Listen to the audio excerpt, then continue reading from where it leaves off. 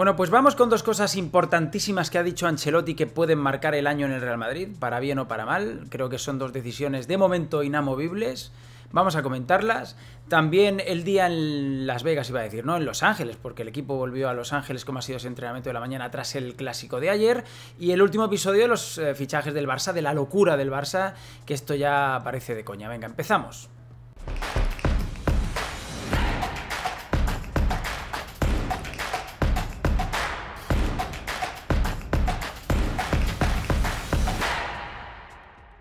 Bienvenidos madridistas, ¿cómo estamos? Antes de empezar, quiero dejar clara una cosa ya por última vez, porque no son todos los comentarios, ni mucho menos, son solo algunos, de gente que me está diciendo, estás en la campaña anti-Ancelotti o campaña anti-Florentino, para que otros me hayan dicho en algún momento, eres muy pro-Florentino. Mira, yo soy de mí, yo tengo mi opinión.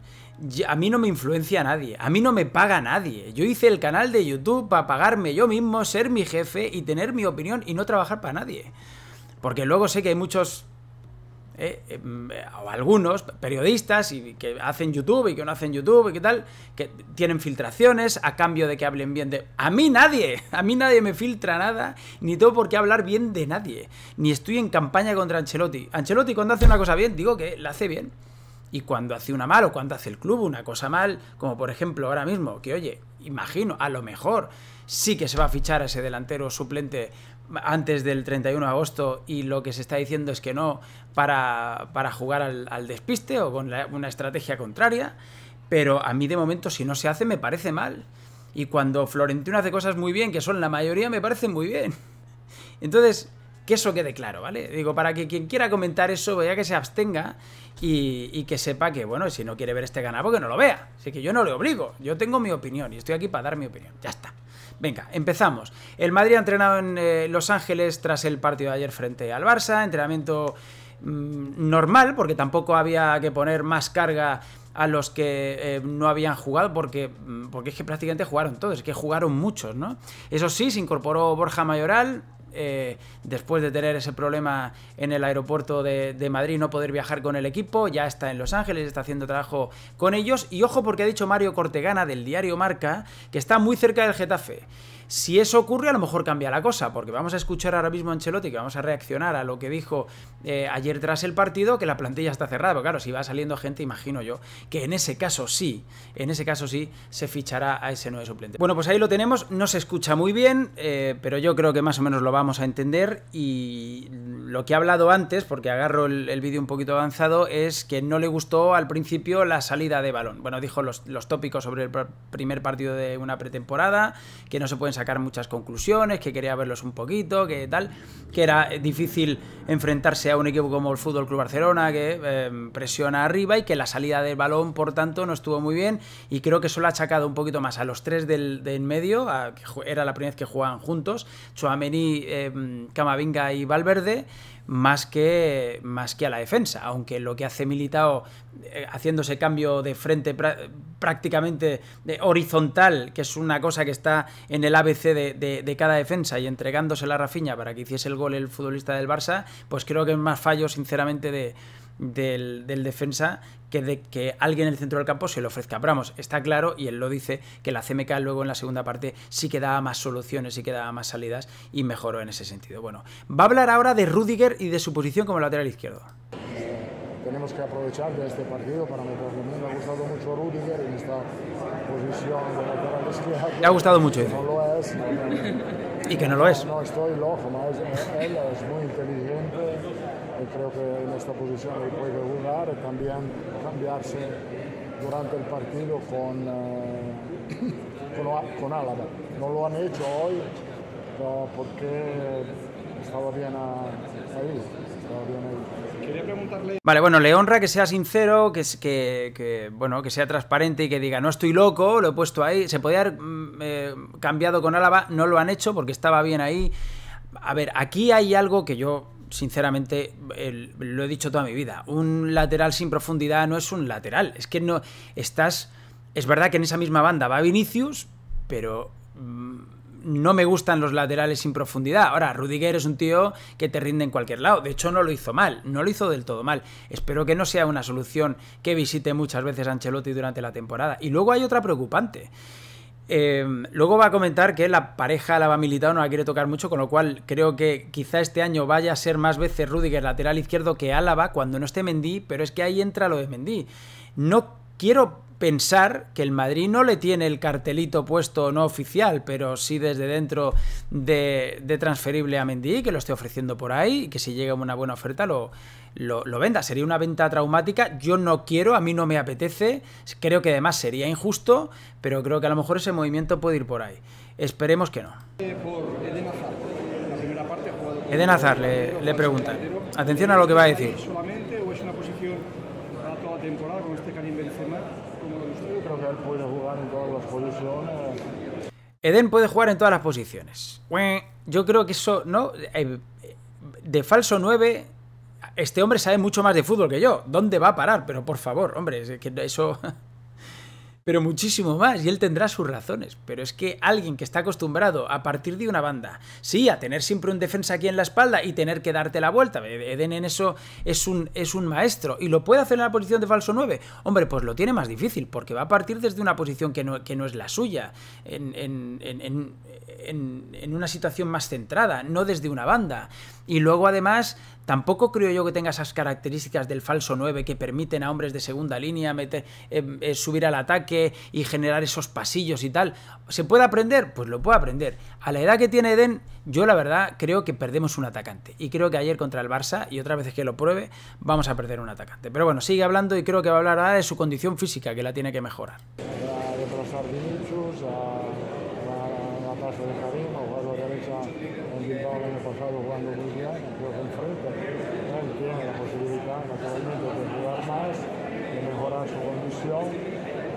De mejorar su condición. Él tiene la posibilidad de jugar más, de mejorar su condición.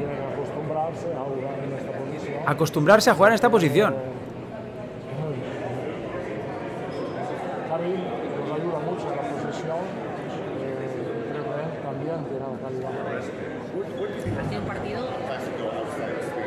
Como dije en mi vídeo anterior, eh, no sé en qué se parecen Karim Benzema con Eden Hazard. No se parecen en nada está como buscando un sustituto de, Karim Benzema ahí que le, que le, pueda, que le pueda venir bien.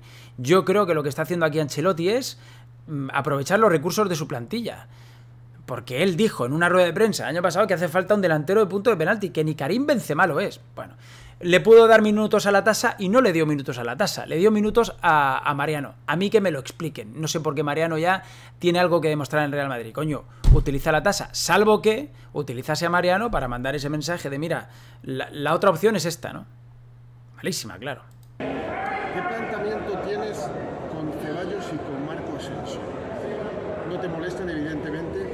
No sé si ellos quieren salir. Absolutamente no la competencia ha aumentado, ha crecido, pero son jugadores que lo han hecho bien, están haciendo bien. Ceballos también hoy solo 10 minutos, pero lo ha hecho muy bien, una posición que no es la suya, pero él es tan inteligente que la posición se la va a buscar. Mister, pero ¿usted cree que, que para ello Ahora le va a preguntar, creo que es Mario Cortegana, sobre lo del futuro de ellos. Eh, eh, está claro que él, hostia, Ancelotti me está mirando con una cara, está claro que eh, le gusta Ceballos, le gusta Asensio y no le sobra en su plantilla. O sea, él está encantado con que estén porque les, le, aportan muchas soluciones. Otra cosa es que lleguen ofertas buenas por ellos que no llegan. Si es que el mercado está como está. Por su situación, ya se vio un poco el año pasado, lo mejor sería una salida quiere, ¿Usted quiere que el club les, les, ofrezca una renovación? Pregúntale al club. Pregúntale al club. algún hombre más? Si la plantilla está cerrada, si cree que hace falta un delantero Ojo. más. No, la plantilla está cerrada, tenemos muchos jugadores. Yo creo que es una plantilla mejor que la, la del año pasado. La intensidad en los entrenamientos ha mejorado. Plantilla cerrada y mejor que la del año pasado manejarla es complicado porque 27 jugadores son muchos, de entrenarlo a todos no siempre es fácil. Tengo la suerte que tengo jugadores inteligentes que entienden la dificultad que tengo. Carlos, a la vuelta a Los Ángeles tienes a Borja Mayoral que todavía no has tenido, ¿qué idea tienes con él? Lo igual de los otros, que se entrena y que se, que se merece de jugar, va a jugar. Y yo quería preguntarte por Benzema, que hoy has preferido reservarle, le vamos a ver el próximo partido porque los aficionados están deseando verle, o sea, contra la Club América ya jugará con América, va a jugar 45 minutos. Creo que va a jugar un poco más el 30, donde estoy pensando en meter el equipo que en teoría va a jugar la Supercopa. Carlos, una última. O sea que el equipo contra la Juve sería ya el que jugaría la final de la Supercopa contra la Eintracht, el, el, el último partido de esta gira americana, y que Benzema va a jugar el próximo partido 45 minutos. Hay una sensación y es que no se constipe Benzema porque no hay otro como él ni hay un sustituto claro en la No, si se constipa, juega no. Si se, si se juega otro. Va a faltar el mejor jugador del mundo. eh, no hay nadie en el mundo que pueda reemplazar a Karim de, de la misma manera. A un otro lo vamos a buscar. Vamos a jugar con 11 si- si cuando no hay Benzema. Vamos a jugar con 11 de todos modos, si se constipa juega otro y está claro que sustituir al mejor jugador del mundo eh, es imposible. Bueno, pero es que puede haber sustitutos mejores y sustitutos peores. Si es que, bueno, a ver, Ancelotti no suelta prenda, entiendo yo que es porque no quiere decir nada, por si, el, si ahora el Real Madrid va y dice, bueno, estamos buscando en el mercado, pues no sería estratégicamente la mejor opción y creo que lo hacen por eso, porque quiero pensar de verdad que la plantilla no esté cerrada si, por ejemplo, se va también Mayoral. Bueno, esto es lo último que le preguntan. y Aquí habla de la pareja de centrales. Carlos, ¿Álava este lateral izquierdo por necesidad, solo por necesidad. Eh, si no, como cambiar la. Vale, dice Álava, lateral izquierdo solo por necesidad. Solo por necesidad, porque no quiero cambiar la pareja de tanto éxito del año pasado. Álava Militao. Pues eso es una. Eso es una declaración para todo el año. Eso quiere decir que, y lo que decía antes, quizá veamos más veces a Rudiger de lateral izquierdo que Álava. Y si se vende a Mendy, ya me contaréis a quién tenemos ahí. Porque a Miguel Gutiérrez, al chaval de la cantera, que ni, que ni ha viajado, que ni ha viajado, lo quieren, eh, o, o se queda en el Castilla, o tiene minutos en, en otro equipo, lo ceden y tiene minutos en otro equipo. Si os dais cuenta, hay cosas en las que se moja y otras en las que no. Aquí lo dice claro, ¿eh? No quiere romper la pareja de centrales del año pasado. Bueno, no sé, según vayan avanzando estos partidos, pues seguiremos tratando de desentrañar más cosas. Lo que está haciendo el Barça es eh, de ciencia ficción a esta hora. Parece que ya está hecho con Koundé. Un Sevilla que había alcanzado en teoría un acuerdo ya con el Chelsea que iba a pagar 60 millones por Koundé. Y el Barça ahora va a pagar 50 más 10 en variables. Que es que no vamos a hablar ahora de la economía pero es increíble. Es increíble lo que está pasando. Creo que hay una- un eh, artículo en el diario Marca de Gabriel Masfurrol, que este se presentó en su día a la presidencia del Barça diciendo que están haciendo una locura. O sea, hay disidencia en el Barça, hay gente que piensa que esto es una huida hacia adelante prácticamente suicida. Y nada, pero parece que lo van a fichar, porque Xavi ha convencido a, a y en el apartado deportivo le convence más el proyecto del Barça que el proyecto del Chelsea. ¿Cómo os quedáis? Y el equipazo que van a hacer, ¿eh? Y el equipazo que van a hacer. En fin, eh, nada, dale like si te ha gustado el vídeo, suscríbete al canal, por favor, comenta, comparte. Y en el siguiente vamos a hablar de eso que tiene el Sevilla con el Barça, que parece su cantera, y por contra el odio que le tienen al Real Madrid, que malvados nosotros les compramos a Sergio Ramos hace 17 años y, no nos lo han perdonado, ¿no? Ahora al Barça le pueden dar cualquier cosa y le pueden comprar cualquier cosa que ni el club ni el aficionado se va a quejar. Adiós.